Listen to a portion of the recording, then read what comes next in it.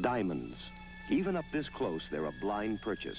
After all, how do you know what to look for when you don't know what you're looking at? Just to prove a point, this diamond, which looks so magnificent, isn't magnificent at all. In fact, it's so full of flaws you'd never find it in a J.C. Penney store. This is a J.C. Penney diamond. To the untrained eye, there's no difference. But to our jewelers, there's all the difference in the world. At J.C. Penney, we know what you're looking for.